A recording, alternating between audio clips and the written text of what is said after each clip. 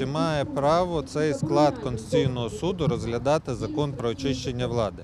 Е, випадку, якщо судді самі зацікавлені в тому, щоб е, було прийнято те чи інше рішення, вони не мають права розглядати справи. Ми дали клопотання із доказами про те, що проти шести суддів Конституційного суду ведеться сьогодні кримінальне розслідування за те, що вони свого часу передали Януковичу повноваження, на які його ніхто не обирав.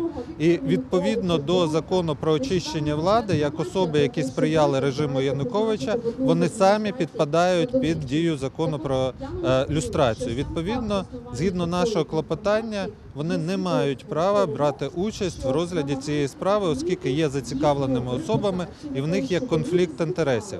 Претензії партії регіонів до закону про люстрацію про те, що такі особи, як Тігіпко, Азаров, Янукович, Льовочкін та інші не зможуть 10 років бути на посадах в органах державної влади. Це їх основна претензія.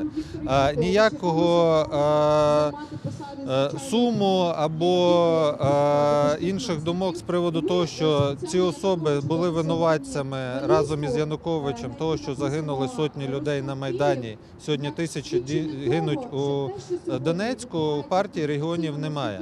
Е, Це позиція, яка заявлена народними депутатами, прийнятий закон, позиція українського народу, підтримана рішенням Венеційської комісії.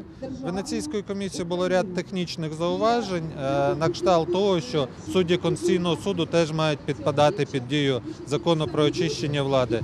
Ці позиції разом з експертами Венеційського суду було враховано. Рік тому внесено доопрацьований закон до парламенту.